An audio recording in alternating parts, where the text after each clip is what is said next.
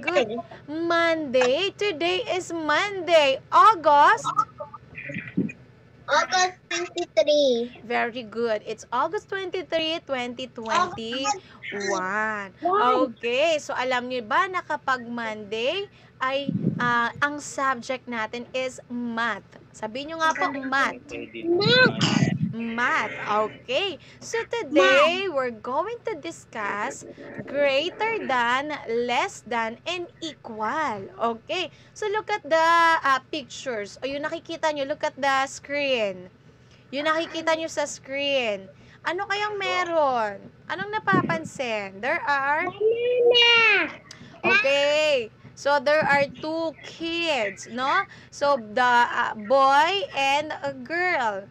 Okay, Paul has one banana. Sabi nga ni Ate Tasha, may banana. Paul has one banana. How many banana has Paul? Paul, si Paul po.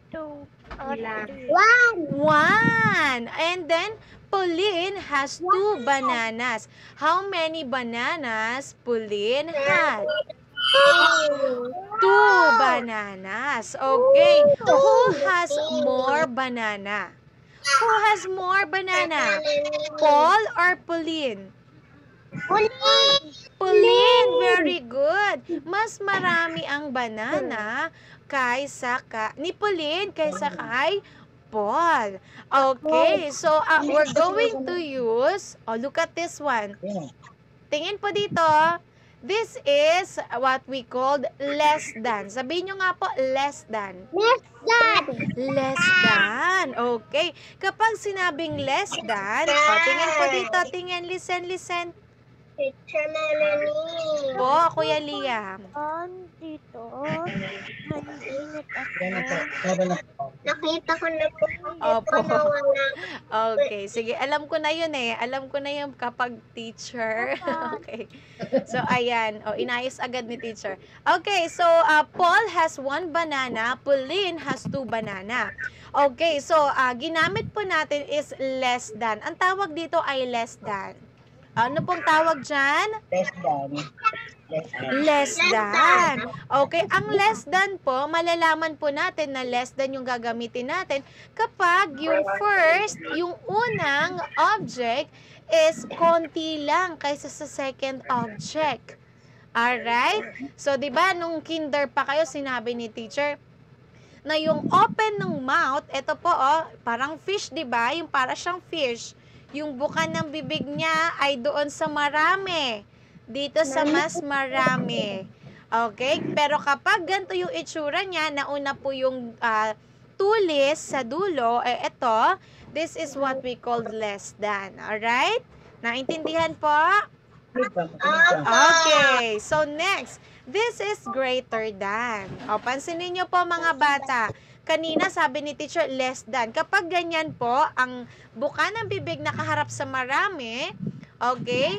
So, at saka yung dulo ay nandito sa unahan, eto po, that is what we called less than. Kapag ang buka naman po ay nasa left side, nakaganyan po, ito naman po ay greater than. Ano po ang tawag dito? Greater Very good. So, this is greater than. Kung papansinin nyo po, 4 greater than 2. Ganun po ang pagbasa niya na 4 greater than 2. Sabihin nga po, Four greater than one. very good. 4 greater than 2. Pansinin nyo, yung buka ng bibig ay nandito sa 4 kasi mas mataas ang 4 kaysa sa number 2. Naintindihan? Opo. Okay, next. Less than. Less than. Alright. Pansinin po, kapag less than, yung open ng mouth nasa 3 kasi 1 less than 3. Mas mababa yung number 1 kaysa sa 3. Kaya yung open ng mouth nasa 3 and yung dulo ay nasa 1. And this is what we called less than. Less than. Okay, basahin nga Less po. than. 1 less than 3. Kayo nga po. One less than. Less than. Less than Three. Okay, very good. One less than three. Alright. Eh, paano naman, teacher, kapag parehas yung number? Okay, ito po ang gagamitin natin. Ito yung mas madali.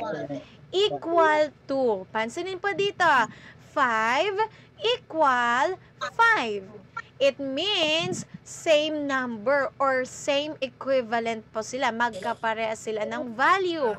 Okay, ang gagamitin natin is equal to.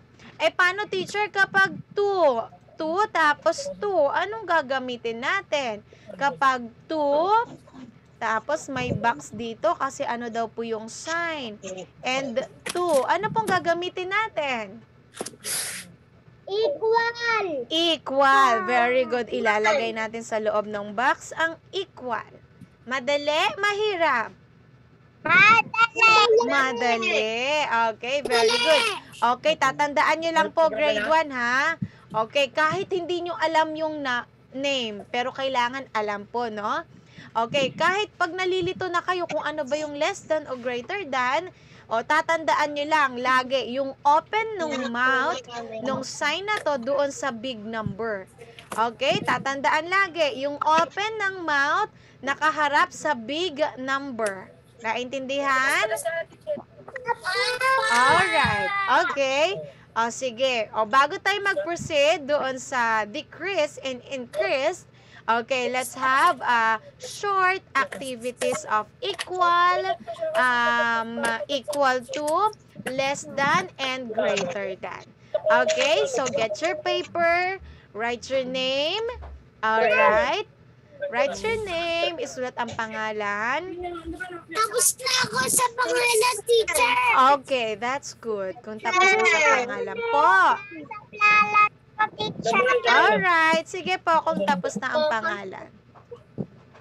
Teacher ako. Meron na ako. Teacher, nawala lang ng aking pencil. Nawala, ah, hanapin mo na po ang pencil. Bigyan ka ng pencil. Basta mo, Darren. Oh, Darren, bigyan ka daw ni Arkel ng pencil. Paano naman yun makakasya? Paano yun ma- mapupunta kay Darren? Hindi naman yun makakalusot.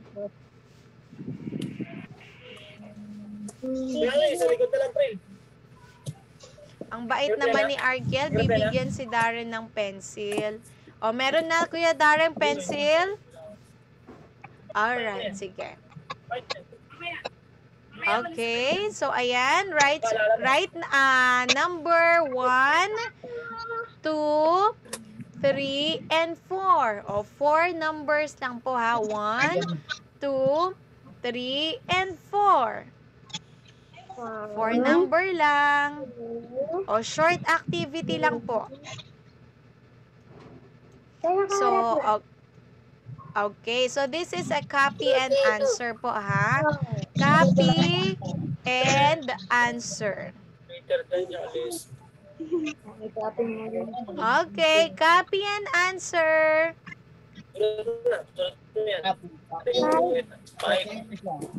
Five. Copy and answer yan. Copy and answer. O, isulat mo na po lahat. Isulat. O, ito po ha. Sa number 1 is 5 blank 0. Number 2, 33 blank 0. Number 3, 12 blank 42.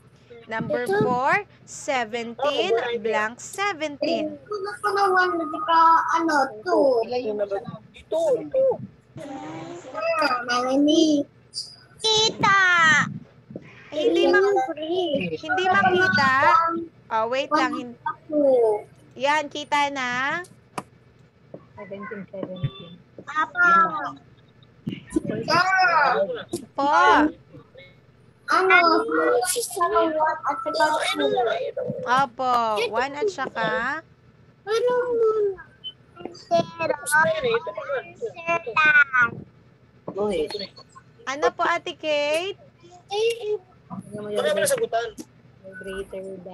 Wait lang, hindi ko marinig si Kate. Ano, Ate Kate? No, one plus one equals two. Ano alam ko eh, tinura ko ni, ano, ni Kuya John. Oo, oo, wag na pong mag-ingay. Sige, magsulat na po. Zero. Oh, 5 and 0. Isulat po, Ate Kate. 5 and 0. And then, oh, dito po, dito, dito. Tingin muna kay teacher pala. O, yan. O, instruct mo na first. Okay, so write the correct symbols. Ito ay greater than, less than, or equal. Kaya maghahap ako sa mga ano ko, mga Okay. ko. Okay, Ano? again, again, again, again. Copy and answer po ha. You need to copy the numbers. Okay, and then write the correct symbols if greater than, less than, or equal. Ito po ang choices ha. Ito yung isusulat dito sa gitna. Okay? Sulat dito, Finish! Less than, greater than. Five, okay, ano, Teacher, isabi ko muna, ihahalap ko lang ng classmates ko. Basta mabad ako eh. Opo. O, sige na po. Magsulat na po. May ano, one, two, three, four, five.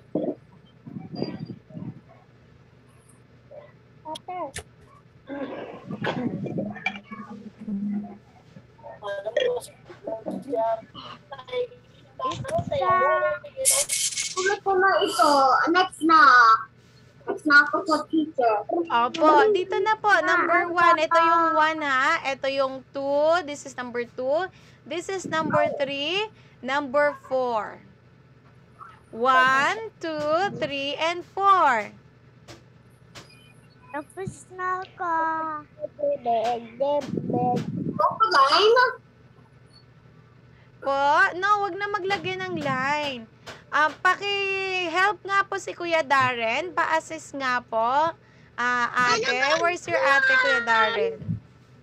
Ano gagawa?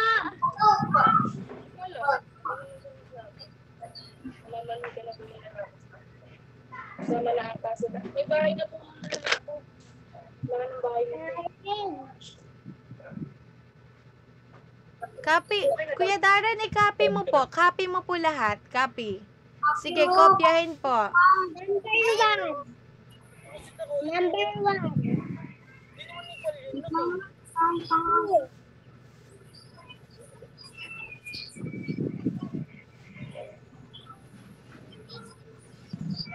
Lahat yan.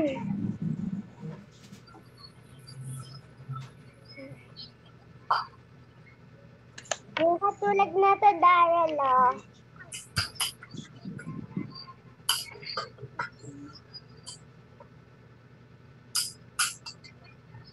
Ayan o, Darren. Ganyan o, kay Atasha. Ayan. Idsulat na po, Kuya Darren.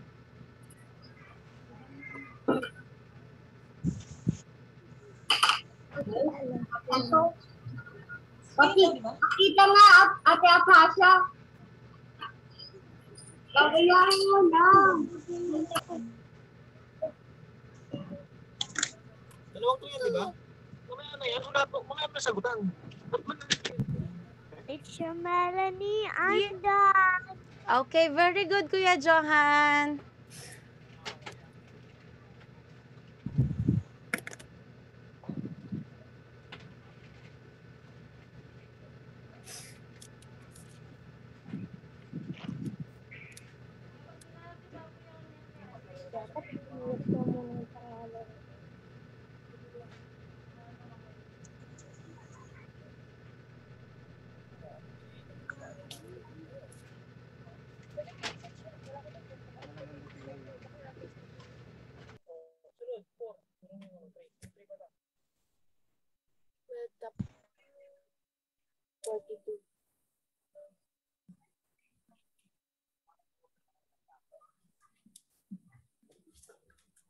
Teacher Melanie, Po. na po ako. Okay, very good, Kuya Lia. anin mo yung nai, na po, teacher. Okay, very good, Ate Kate. Okay, write the correct symbols. Kuya Arkiel, are you done, Arkiel? Wait. Pero since sila kunyari 10, naka 10 equal. Less than. Yung pag kunyari ito, yung malaki, yung bunganga ng dapat. Pag maliit. Kasi lagi yung ma- malaki yung kinakain. Malaki yung nasa malaki. Tapos na ako, teacher. Alright, very good, Arkiel. Very good, Atasha. Finish na si Atasha. How about Alexa? Finish na po? Number one. Yung malaki Hindi na yung pa. pinakain. Malaki yung nakaganyan. Sa mesa.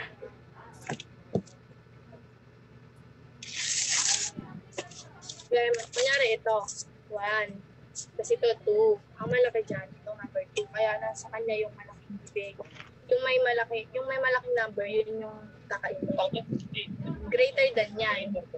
Tapos pag yung pag nakaganto, less than. Dali na. Sample mo isa. Ito, ito naman.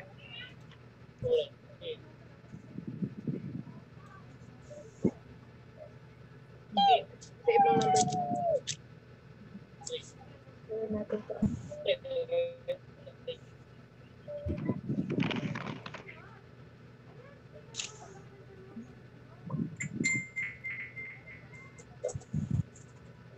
Number one, number two, number three, number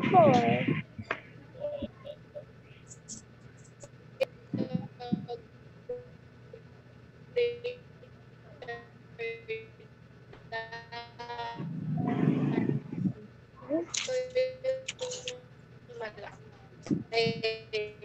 Later.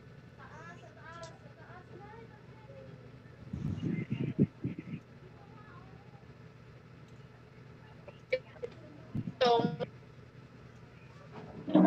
Okay, wait lang natin si Kuya Darren, ha? zero.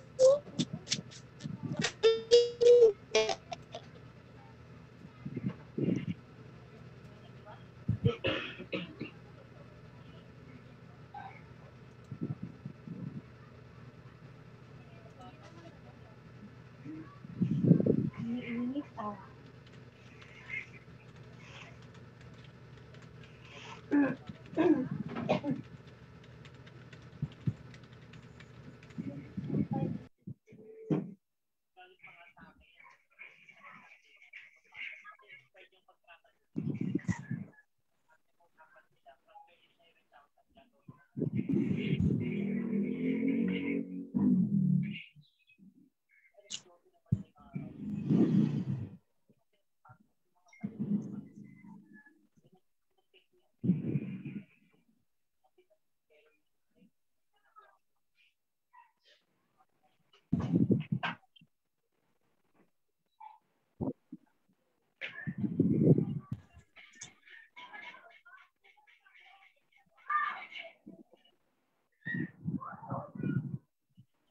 Baba mo, hindi ka nakikita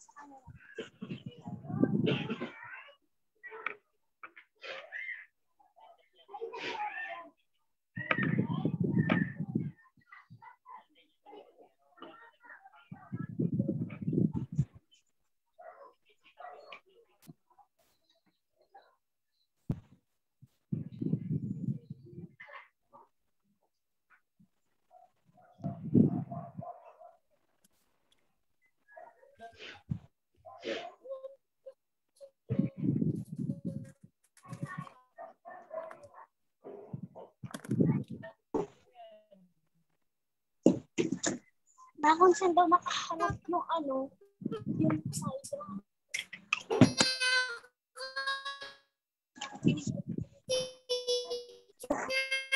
Okay, very good, Arkiel. How about Darren? Finish na, Kuya Darren? Yancy? Di pa po ako tapos. Okay, sige po. O, four lang po yan, ha? Hanggang four lang.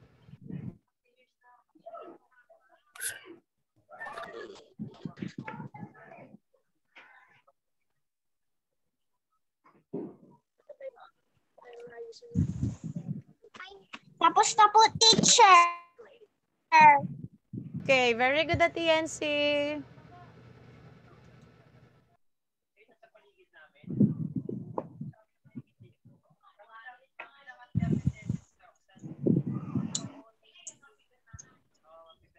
Ay,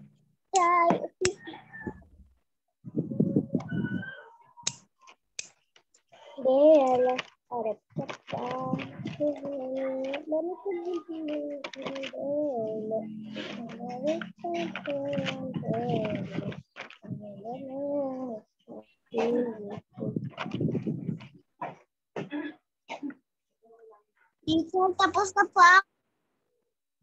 Okay, very good po. Let's wait. Kuya Darren, are you finished? Darren, finish na po ba si Darren? Not yet? O, sige po, magsulat na po ng magsulat, okay? Sulat na po.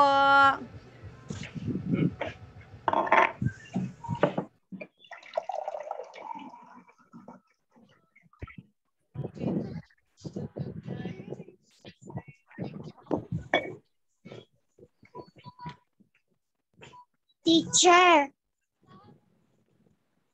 Yes po.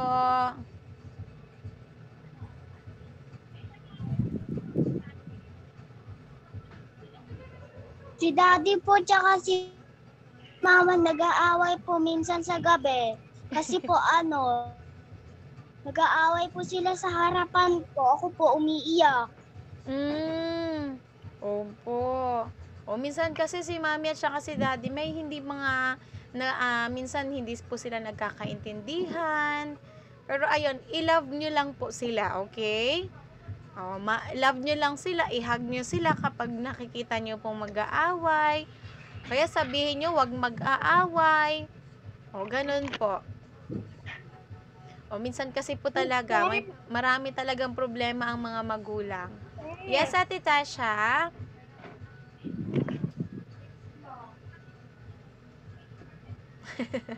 Teacher, kita. Na-miss din po kita.